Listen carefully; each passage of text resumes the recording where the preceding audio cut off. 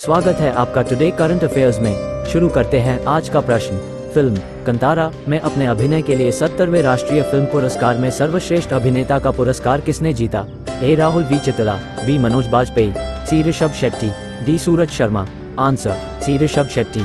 Explanation सत्तरवे राष्ट्रीय film पुरस्कार में ऋषभ शेट्टी ने फ़िल्म कंतारा में अपनी भूमिका के लिए सर्वश्रेष्ठ अभिनेता का पुरस्कार जीता, जिसे संपूर्ण मनोरंजन प्रदान करने वाली सर्वश्रेष्ठ लोकप्रिय फ़िल्म का पुरस्कार भी मिला। दक्षिण कन्नड़ के काल्पनिक गाँव में स्थापित कंतारा में शेट्टी का किरदार, जो एक कंबाला चैंपियन का किरदार निभाता है, जिसका एक ईमानदार वन रेंज अधिकारी के साथ आमना सामना होता है। अगला प्रश्न। भारतीय पुरुष क्रिकेट टीम के नए गेंदबाजी कोच के रूप में किसे नियुक्त किया गया? A. Morne Morkel, B. Praveen Kumar, C. Dale Steyn, D. Greatly answer A Morne Morkel. Explanation South Africa के पूर्व तेज गेंदबाज मोरने मोकेल को भारत की पुरुष क्रिकेट टीम का गेंदबाजी कोच नियुक्त किया गया है। मोकेल की नियुक्ति से भारतीय टीम के कोचिंग स्टाफ पूर्ण हो गया। इसमें मुख्य कोच गौतम गंभीर के अलावा फील्डिंग कोच टी दिलीप और सहायक कोच के रूप में रायन टेन देशकाटे और अभिषेक नायर शामिल हैं। अगला प्रश्न। सत्तरवे नेशनल फ़िल्म अवार्ड्स में किस फ़िल्म को सर्वश्रेष्ठ हिंदी फ़िल्म का पुरस्कार मिला?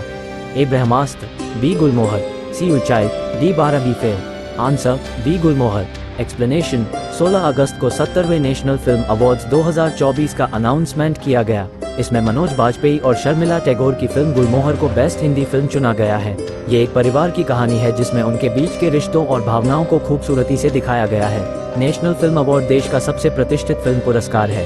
इसकी शुरुआत उन्नीस सौ चौवन में हुई थी। नेशनल अवार्ड विनर को एक मेडल की तरह रजत कमल या स्वर्ण कमल दिए जाते हैं। इसके साथ साथ नकद पुरस्कार भी दिया जाता है। अगला प्रश्न।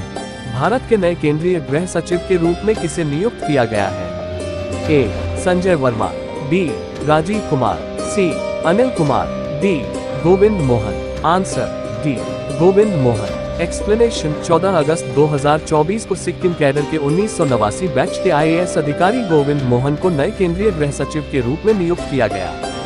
वह असम मेघालय कैडर के उन्नीस सौ चौरासी बैच के आईएएस अधिकारी अजय कुमार भल्ला की जगह लेंगे, जिनका कार्यकाल 22 अगस्त को समाप्त होने जा रहा है। अगला प्रश्न। किस राज्य सरकार ने मंदिरों, मठों और ट्रस्टों का पंजीकरण अनिवार्य कर दिया है? A, Uttar Pradesh, B, Madhya Pradesh, C, Bihar, D, Paschim Bangal.